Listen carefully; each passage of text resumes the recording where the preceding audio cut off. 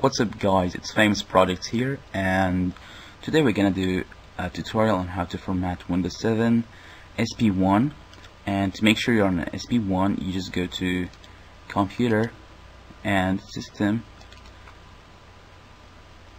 and you see it's Server Pack 1 if it says Server Pack 2 you can't watch the tutorial because it won't work or you're gonna lose your whole Windows so first thing you need is daemon tools uh, to make the Windows works and the Windows 7 ISO file which I'm gonna show you where to download it and the link in the description and the Windows loader which give you the serial number unlimited serial numbers of Windows 7 if you don't have one uh, on your back on the computer. So let's just, just go find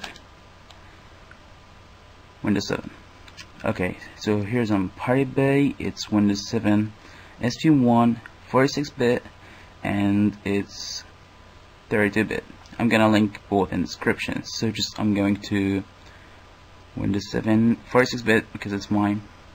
And here it goes.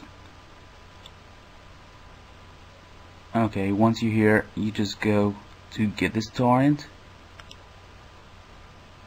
and you press OK. So it's going to start downloading. It's 3.9 gigabytes. Um, the download speed will depend on your internet. So I'm gonna see you later when this is done.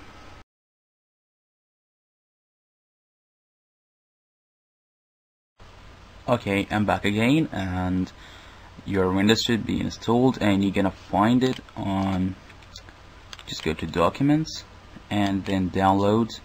And you're gonna find Windows 7 SP1 Unlimited. So I'll just download it uh, before that. So I'm gonna open this one and you're gonna find an IS file. You just extract your desktop and you get it. Then you open your daemon tools.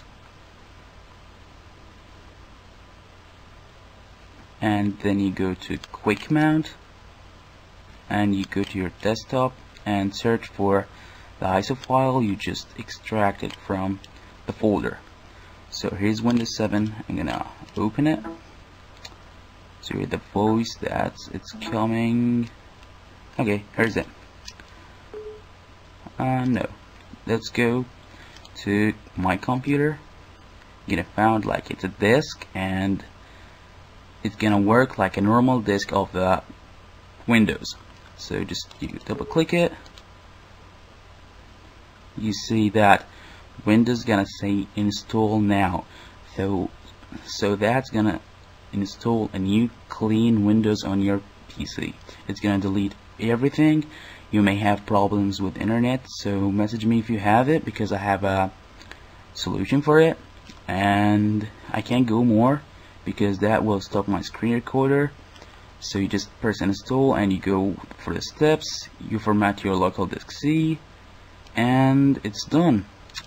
After that uh, if you got a problem with the serial number you're gonna find Windows Loader. Basically you're gonna just double click it. And it will say install. It will give you a new serial number for your um, Windows 7 if you don't have one so that will give you unlimited serials if you are on SP2 and you're formatting for SP1 and you can change also from Windows 7 46 to 32 but you need something I'll make a tutorial for it which is the bootable USB thanks again guys for watching. I hope you enjoyed it and I hope it was helpful